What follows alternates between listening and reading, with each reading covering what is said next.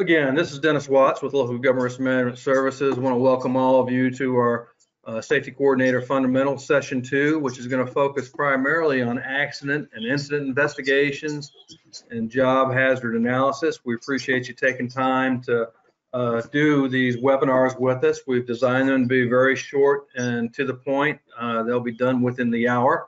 Um, and again, we thank you for, for being here. Here's what we want to accomplish um, through these three sessions that we've we've had starting last week and going through this week and continuing on through next week. Our goal is at the end of the three sessions, you're going to have a greater awareness of the duties and responsibilities of the local government safety coordinator.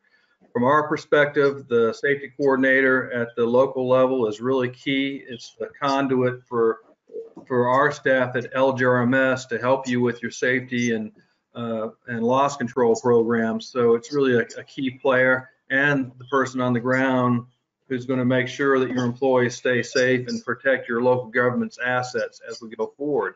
We also want you to have a basic foundation for workplace safety. And, and in doing that, we're going to give you an overview of key safety functions and concepts, such as the topic today, which is accident and, and incident investigations. We're also going to give you a template for a basic safety program that will be using the requirements to qualify you for either the GMA safety grant or the ACCG incentive program. If you meet the requirements of both of those programs, not only do you get a financial reward, but you also have done the things required for a good basic safety program. So what we require for these three sessions is number one, you've got to attend all three sessions to, to receive credit for safety coordinator attendance. Uh, because of COVID-19, uh, this is our way of virtually helping you meet the requirements that GMA and ACCG require for safety coordinator training. We've offered each of the sessions twice, once in the morning and once in the afternoon on different days each week. And again, uh, we did session two earlier this week on Tuesday, and we're redoing again today. Next week, we'll offer session three, which is on local uh, government vehicle operations again on Tuesday at 10, and then uh, on September 10th at 1 p.m. We're also going to schedule a makeup session where we'll offer all three sessions once again, but all in the same day, and that will be on September 29th.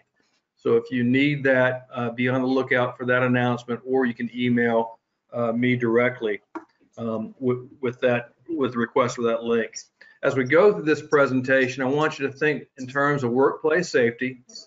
As we, as our primary presenter, which is going to be Vincent Scott, talks about this, I want to point out the control panel on the GoToWebinar screen. There's a box that says questions. All you need to do, if you have a question, it can be either on a topic that's being covered or an admin question, go ahead and uh, open that box, press a little arrow, write your question in there, and then we'll look at that and either respond where everybody sees the question and gets the answer, or if it's more pertinent to you individually, then we'll just respond directly back to you. Or you can just email me uh, at dwatts at lgrms.com. That is D-W-A-T-T-S at lgrms.com with your question if you'd rather have it answered through email. So what have we covered so far? Uh, our first session covered introduction to fundamentals of being a safety quarter, and we talked about audits and self-inspections. All these topics are interrelate, interrelated with each other. Session two, which is today, we're going to talk a good bit about accident and incident investigations, why we need them, and also job hazard analysis, how we actually do a job. And then next week, we'll do session three, which is going to be local government motor vehicle considerations and we'll discuss how the ACCG incentive and GMA safety grant requirements work. So our primary presenter today will be Vincent Scott. and I'm going to have Vincent introduce himself to you in just a moment. But before we get started, I have already have two questions I want to ask Vincent. Uh, before you join us, Vincent, you are the risk manager at Henry County. Um, in your mind, why is it important to conduct incident or accident investigations? What's the importance of doing this? Good afternoon. It's important to conduct accident and incident investigations because it lets the organization know where your safety problems may lie or what safety problems you may have. Those accident and incident investigations are some tail signs, and we'll talk about what those signs are, or, possibly poor work practices that may that may be there involved in your area or in your working group.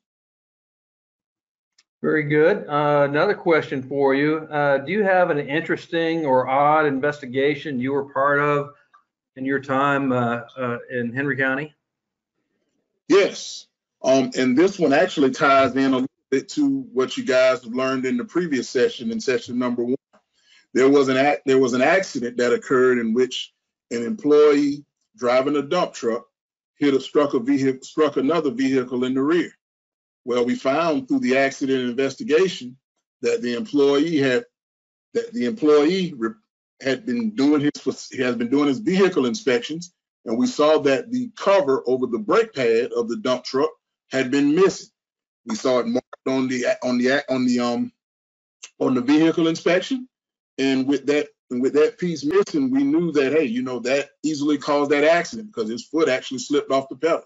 So we found that there were some issues there, you know, with the inspection process and the follow-up of the inspection process. Thank you, Vincent. Yeah, I can see a clear tie-in through invent, uh, uh, through uh, preventive maintenance and, and these incident investigations. All right, I'm going to turn it over to you. So talk about yourself and then tell us about accident investigations. Uh, thank you. Once again, good afternoon, everyone. My name is Vincent Scott. I joined local government risk management in April of 2018. I've been here now, going on about two and a half years. I have a Bachelor of Science in Environmental Science and a Master of Science in Occupational Safety and Health. I've worked with local government, local and state governments for about 15 years. And as you can see, I really enjoy working with local governments. And that's why I felt that I was a perfect fit when with, with LGRMS. Um, my contact information is also listed there at the bottom of the screen here. So if you need anything, please feel free, you know, to send me an email or to call our number directly. So we're going to get started with today's presentation, and we're going to start in the first section, which involves accident and incident investigations.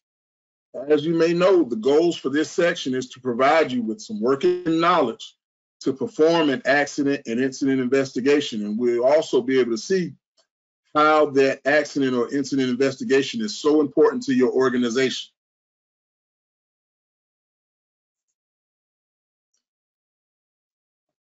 When, employee, when an employee is involved in an accident or an incident, it's imperative to take the time to perform an accident or an incident investigation.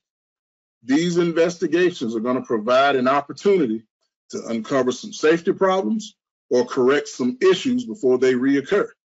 So with our objectives, we're going to go through a few things in which you're going to be able to see how these things unfold out.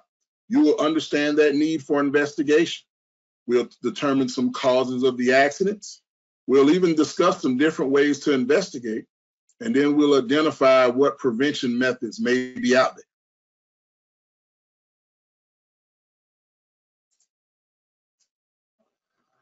With an accident, the definition is any undesired or unplanned event arising out of employment which results in a physical injury to the employee or damage to the property, whether it belongs to the employer or to an outside party. An incident is an event which does not result in an injury or damage, but it has the potential to do so. Now, Remember that with any incident or near miss situation, it may not result in that injury or damage, but it does disrupt the flow of the operation, meaning that someone has to perform an investigation. So, therefore, in those situations, they must also be investigated and addressed as well.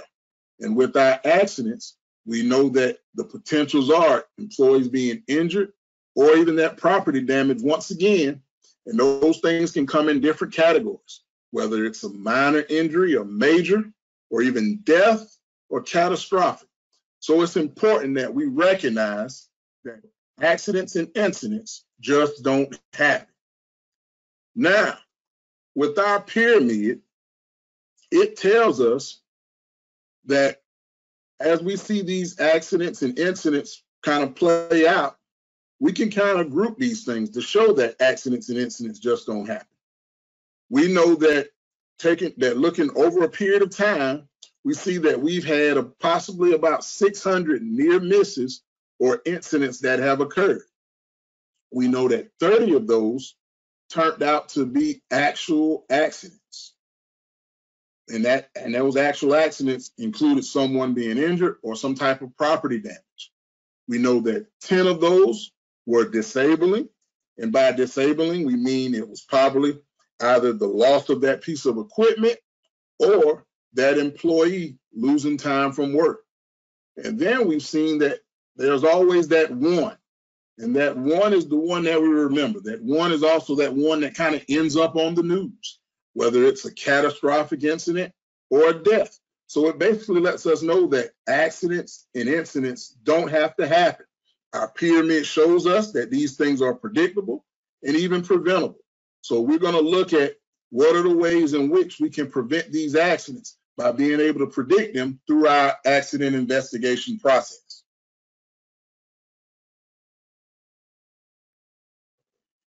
In our accident investigation process, you're going to see that the investigation is a systematic approach to examining an accident or incident to identify certain conditions, behaviors, hazards, and then ultimately finding the root cause of that accident or incident to be able to identify it as well as implement any corrective actions necessary to prevent similar occurrences. These investigations focus on identifying and correcting those root causes, but it's important that we understand that they do not establish fault, as these investigations are essential to any good safety program because they're going to help build that morale. And we'll talk about building morale and, and how that how that can affect an employee if you establish fault. So in our first step, we want to ensure that we document. And by documenting, we want to get a brief overview of the situation from the employee, witnesses, or anyone else who was directly involved with the incident. Our goal in this portion is to collect enough information to understand the basics of what happened. Okay. Next, we want to examine the accident scene or the incident scene. We want to look for things that will help us understand or determine or determine what happened. This can include looking at looking at dents, looking at cracks, looking at scrapes, or even splits in the equipment, tire tracks. And we know in many investigations as it relates to vehicles, tire tracks are very important because we can follow those tire tracks or those tire marks because those things show us that as a vehicle speed increases, its stopping distance is also going to increase. Therefore, you may see so, uh, some skid marks, and those skid marks can tell you how fast the vehicle was traveling because the length of the skid marks will show you that. Footprints are also a good are also something that we may want to look at as it relates to looking for spills or leaks, maybe even scattered or broken parts. But we want to be sure that we also take photographs, as photographs can kind of clear our minds as we go back to write this information down. It can kind of bring it back. It can kind of bring it back to us.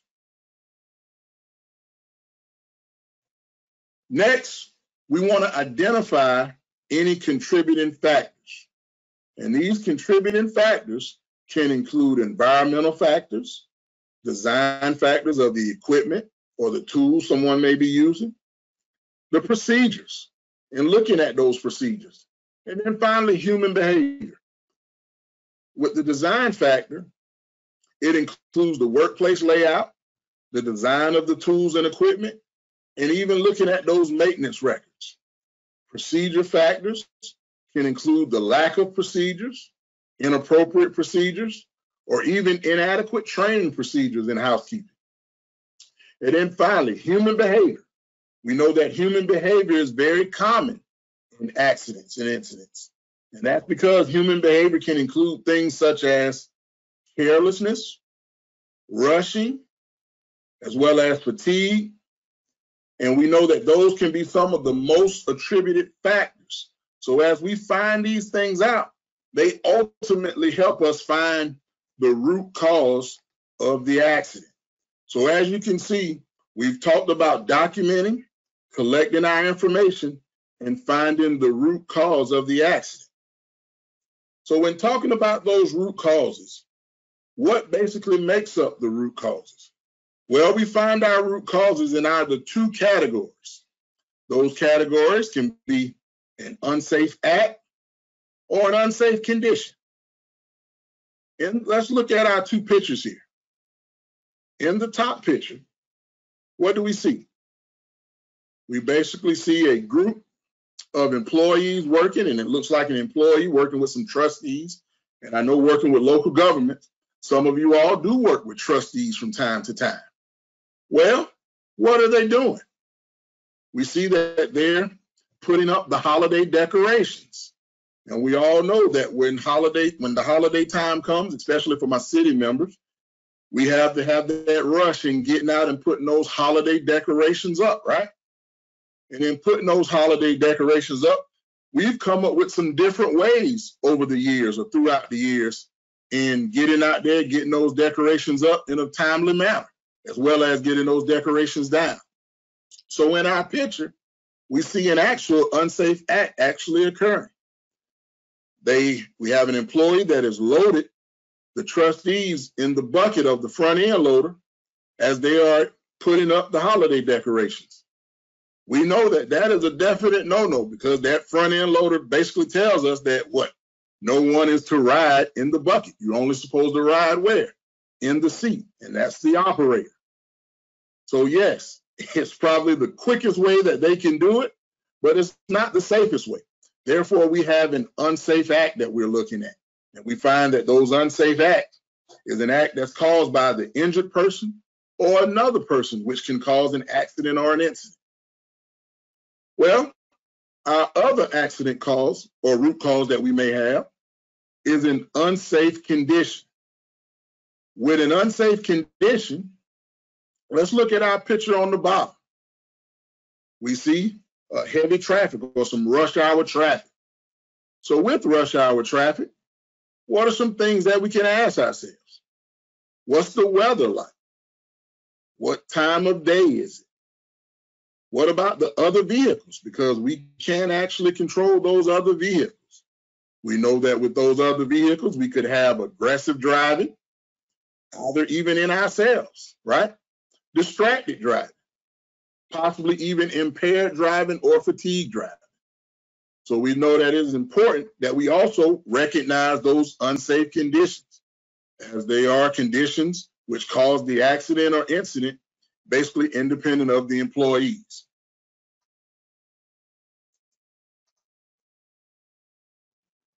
So in our accident, we have the accident weed. And it cannot be stressed enough that a successful incident or accident investigation must once again focus on discovering the root cause. These investigations are not effective if they are focused on finding fault or blame, as I stated earlier. If an investigation is focused on finding fault, it's always going to stop short of the root cause, basically because we haven't found out what actually caused the accident. Now, if we think back to our pictures as we were talking about those hazardous practices, or those hazardous acts. What were those employees that were in the guard looking at? Possibly when they were in that beat, when they were in that front end loader, we see that that front end loader, that was the hazardous act. Were those employees properly trained?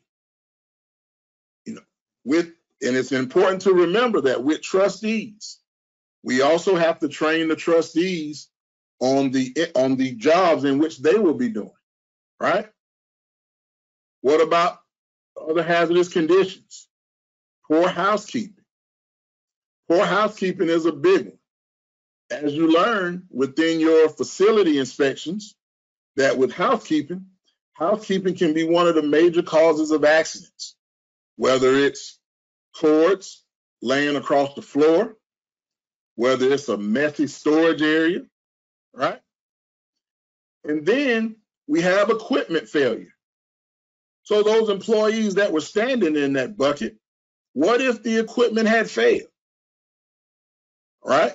The equipment failure would be one of the hazardous, that would be a possibility of the hazardous condition, but not the root cause because it would ultimately go back to that lack of training. So as we look at our accident, we look at some of our root causes.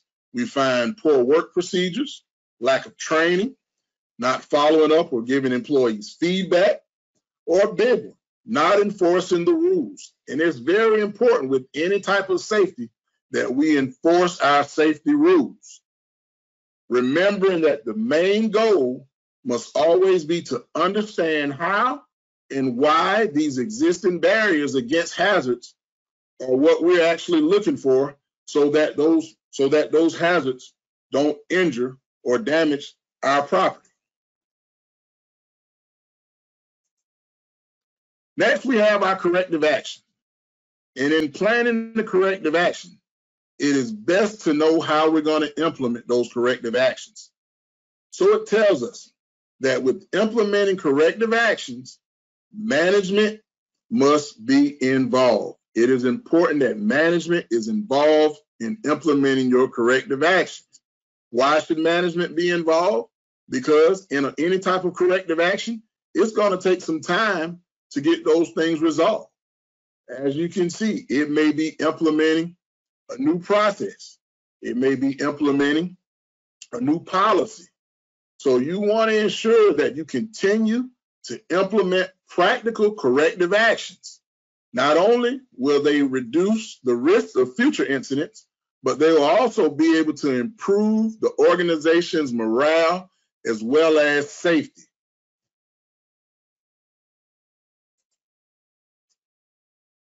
Now, it is the responsibility of the investigator to follow up on all corrective action implementation. That investigator may look to set target completion dates. That investigator may also look to update the investigation as they may find out other information or other supporting details.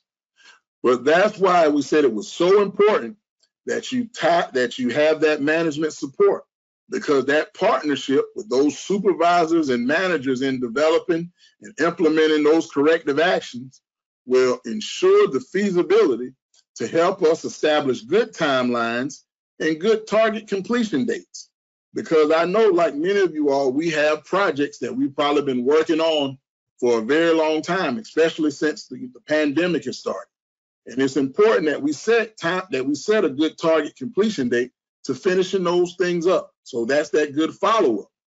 Also, you're going to talk a little bit more about this in depth in your in, in session number three, but safety action planning with your accident investigations.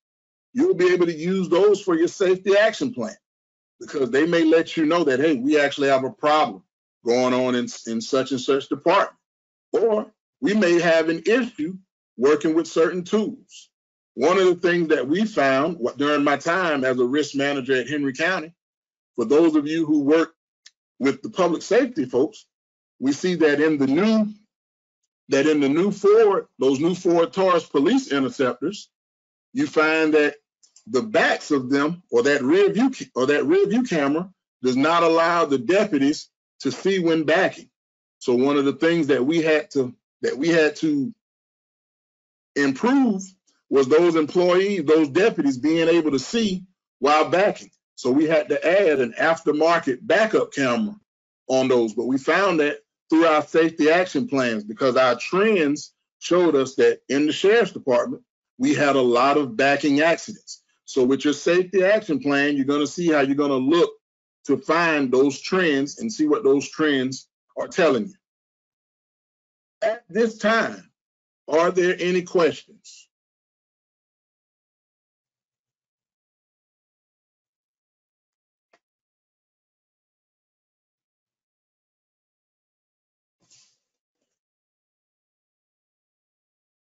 All right. So we're going to move along to the next se section in our presentation today, which is the job hazard analysis. Now, the job hazard analysis, you'll find is kind of going to go hand in hand with some of your accident and incident investigations. because the goals for the job hazard analysis is to provide some basic risk management skills in using the job hazard analysis to identify and reduce the risks of any job or task. So with those accident investigations and that, and that safety action planning, once you've identified those trends, now you're going to find out what those hazards and those risks are through your job hazard analysis. We know that there are many different ways or many different hazards associated with many jobs. Each job could have its own frequency or severity level of those hazards. Once the hazards are identified, a key component is to identify the risks involved with each of those hazards and the likelihood of its occurrence. This will help you prioritize which hazards can be eliminated, as well as assisting in reducing the likelihood of an injury or damage claim. So this tells us that any effective safety program will use the job hazard analysis to identify those hazards before they happen. So let's take a look at some workplace hazards. What are hazards? We find that hazards are an inherent biological, chemical, or physical characteristics of a material system or process that has the potential for causing harm. When evaluating hazards within your organization, there are some things that you should consider. As you can see in our cartoon strip here, hazards in the workplace can come just about from anywhere, whether it's the human interface, the environment, materials we use, tools, the layout of a workstation, or even our equipment and machinery. The focus of any hazard identification should be on these four items. The level of exposure, the duration of the exposure, the potential for or the effects of a simultaneous exposure, and then finally, what are your current controls in place? So as we look at some of those hazards, and we've seen them, you know, we kind of say, hey, we can recognize some of those, right? The physical hazard. Maybe there's a maybe there's a spill on the floor, or maybe a piece of broken carpet, right? We can recognize some of those things. Our ergonomic hazards. Now, which when we're working at home or we're working in alternate workstations, you know, to, com- to, com- be, to comply with the social distancing, they may not be set up like our normal workstations. So it's important that we recognize those hazards or those hazards before they can occur. So let's look, so let's kind of walk through a job hazard analysis. As we see here on our picture, and this picture should be familiar to you because this was a picture in which you saw in your facility inspection, right? Walking through. What is the employee doing? What type of equipment is the employee using? What can happen? Right? So with any job hazard analysis, it's important that we use it because it helps us spot those overlooked hazards. It also reveals to us what hazards may have surfaced after the task was instituted. It can also reveal hazards that may surface even if the job was modified. So the first thing we want to do, we want to select the job or task or piece of equipment. Now, jobs should not be selected at random. As we stated, coming out of our accident and incident investigation, with those with using that safety action plan or reviewing those accidents and incidents.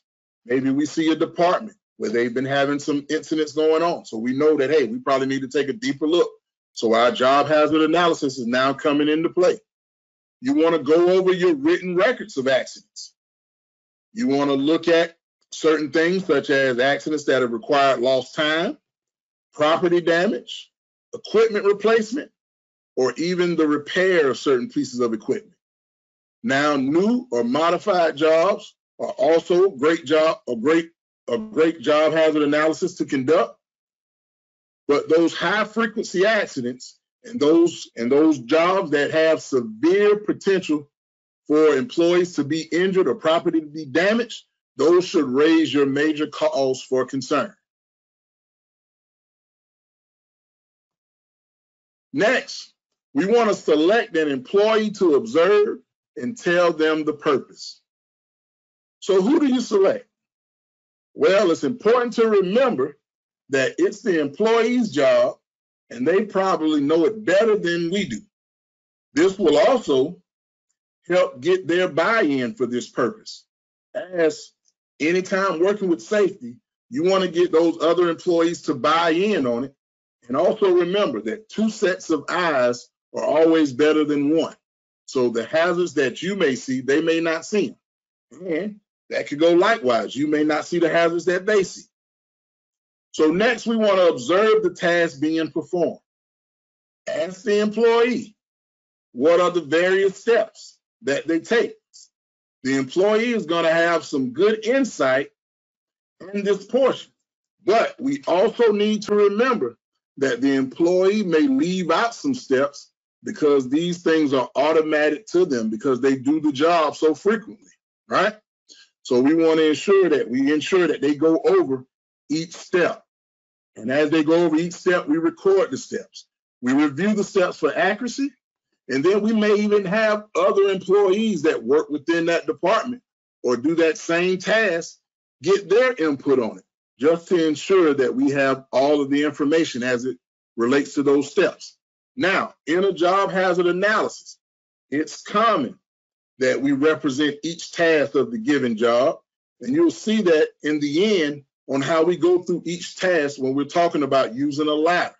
It is also good that we give a description of the tax because that description that we give, we know that in some cases, we can sometimes write out some things that we can better understand, you know, by taking some short notes or things of that nature.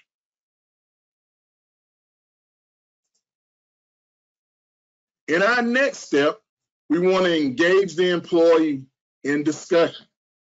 We want to work with that employee for recommendation.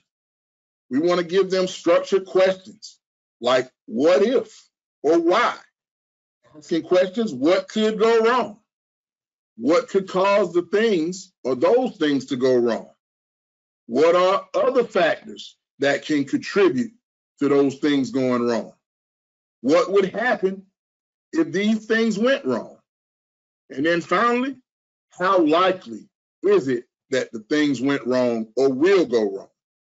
After speaking with that employee, now it's time for us to start identifying those existing and potential hazards. And a good hazard description should always include the following items. The environment, where does this hazard exist? The exposure, who might be injured or made ill or what type of property damage could be caused by this hazard. Some other triggers, what event or events might cause a hazard to lead to an accident or an injury. There may be some contributing factors. Are there other factors there that can contribute to that hazard? And it's important that we understand the outcome or the consequences of those hazards. What would be the result if that hazard were to occur? And that employee is going to give us that insight. That employee is going to let us know, you know, what could what's the worst that could happen? So as we completed or we get we we've written our hazard descriptions, now it's time for us to look at some controls. And when you look at controls, the hazard never really does lead to the accident or injury. You know, if you've identified a severe hazard or one with a great chance of causing an accident or injury, you want to ensure that you address that one immediately. Now, when looking at your when looking at your list of when looking at the list of controls that we have here, let's let's kind of go through them.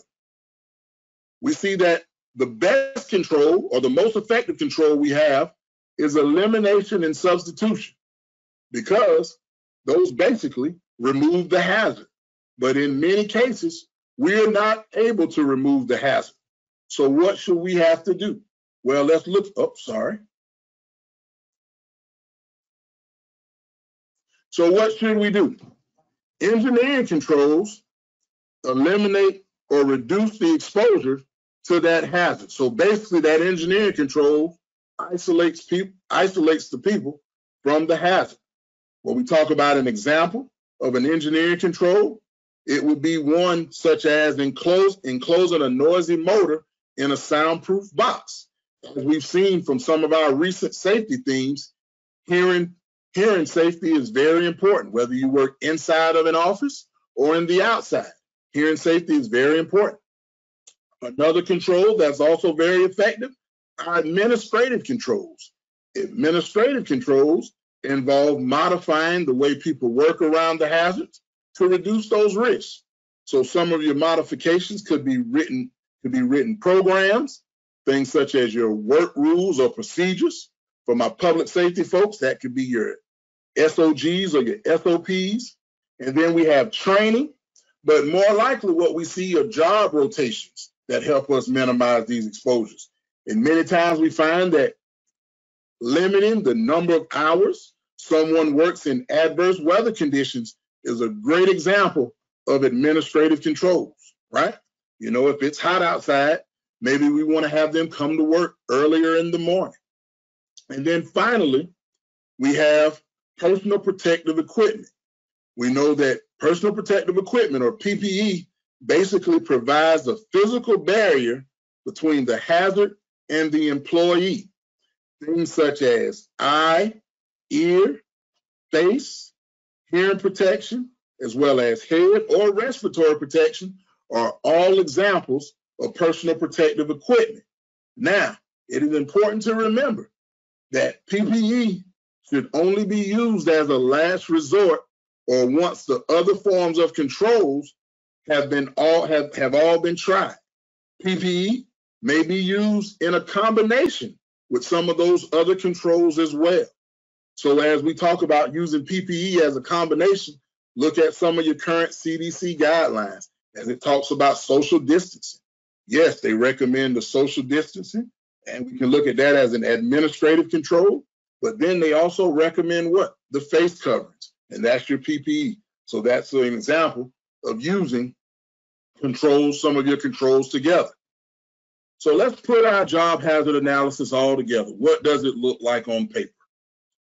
Well, on paper, you'll basically see the job steps. And as we looked at using the ladder, what are some of your job steps? We find that our job steps are setting up the ladder, ascending and descending the ladder, meaning going up and down, and then the work that's performed on the ladder. Those are the steps that we're going to use. So maintaining a good job hazard analysis program, we must remember is going to be an evolving and an ongoing process. Well, you say an ongoing process because of what? Those potential hazards that take us into the next portion. What are those potential hazards? That ladder falling over or the ladder being unstable. Possibly the employee reaching out too far to perform the work that's on the ladder. Or maybe we'd have the wrong ladder for the job. So, with your job hazard analysis, it's important that we remember that we review those, that we review them, or we look at them on a periodic on a periodic basis, because we want to ensure that the controls we have in place help us reduce the hazards. So where are our controls? setting the ladder, setting the ladder feet on a solid level. When reaching out, ensuring that we keep our center of gravity. That way we don't go over the rails on either side of the ladder. And it's always important to remember, as we saw in our picture there, never stand on the top of the ladder. Never stand on that top rung of the ladder or that step or that step on the ladder that tells you don't stand above this step. Those things are very important. So after you've looked at your controls, we ask ourselves, okay, what should we do next? Well, we want to we want to ensure that we investigate all incidents and accidents.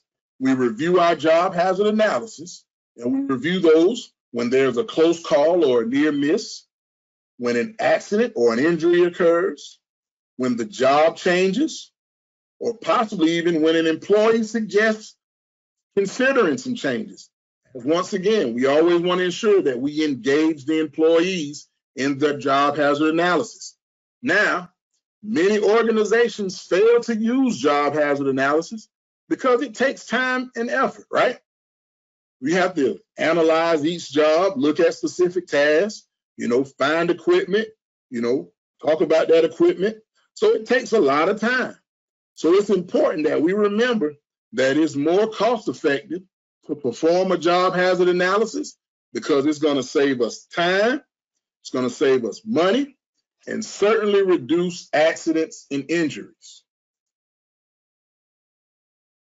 So with our job hazard analysis, we may possibly have new policies or procedures. And all corrective procedures and processes must be communicated to all employees, not just those who are directly affected by it, right? Any changes must be fully explained. We know that some changes, employees need to understand why the changes are being implemented and how those changes will be implemented. And we know that all employees who do the job must undergo training on those changes or those new job procedures. So we have here a new procedure on ladder safety, telling us our do's and our don'ts, right? And you say one of the biggest things that we see with ladder safety is maintaining those three points of contact. Now we see on the don'ts, it looks like he has three points of contact with that right leg kind of wrapped around that outside rung, but he's actually reaching over. So in in in in trying to maintain one, he breaks another that we found that were one of our controls in which we must process. Now, I hope that you all gauged a lot from our accident investigations as well as our job hazard analysis training today. And I'm gonna turn it back over to you, Dennis. Thank you, Vincent. Appreciate it. Uh, I've got a couple of closing remarks, but I did have another question for you, and this is in reference to accident investigations in, in a local government. Who should be the person or who should actually do the uh, incident or accident investigations? The first person, the first employee that we recommend to perform the accident investigation or is the supervisor of that employee. And it's important that the supervisor perform that accident investigation because that supervisor is aware of the task that that employee is doing as well as how to perform that task. So that supervisor knows those steps, that supervisor understands those controls, and that supervisor understands what could possibly happen while performing those job duties or that job task. So we want to look at the supervisor first. Next, they may call on one of you all as safety coordinators to perform an accident investigation. And that's also a good resource because you come in looking at it in some instances from a department looking on the out, looking from the outside in. And that gives it another set of eyes. As we stated earlier, two sets of eyes are always better than one. Very good. Appreciate that. Um, just a comment on uh, job hazard analysis for every everybody. Uh, that process comes from industry, from manufacturing primarily. And one of the things we want you to know is you don't necessarily need to do a job hazard analysis on all the different jobs that your employees do. That would be probably hundreds of, of different tasks. But you do want to look at potentially doing those where there has been an accident or an accident or where maybe you've got another new piece of equipment that you're bringing into uh, your local government. All those things would be a great way uh, to use that job hazard analysis process. And it's very easy to take that job hazard analysis and turn it into uh, a small training event as well. So again, uh, thank you, Vincent, for for your uh, sharing with us your knowledge on accidents investigations and job hazard analysis. Um, just a couple of admin things. Again, I want to remind everybody that if for some reason you missed one of the earlier presentations, uh, or maybe you've got another employee that you want to participate, we'll be doing a makeup session for all three sessions on 29 September. Session one will be at 9:30 to 10:30 approximately. Session two from uh, 11 to 12, and then session three from 1 to 2 p.m. on September 29th. So just another opportunity either to make up one you missed or maybe uh, send another employee to take this training. We don't care how many people take it. We're just trying to provide you the benefit of, uh, of meeting the requirements um, for training this year. You'll also be given a copy of the webinar by recording and a few handouts. You're probably receiving those in the next few days. Most of you who were on the first session should have already gotten the link to the uh, recording for the first session, some handouts. If you didn't, again, shoot me or Vincent or any of us an email. Again, we appreciate your time. Uh, we appreciate what you do. And uh, if there's anything we can do for us, please uh, contact us at uh, Local Government Risk Management Services. Hope all of you have a safe week, a good Labor Day weekend coming up. Uh, don't uh, don't party too hard. Take care. Have a great day.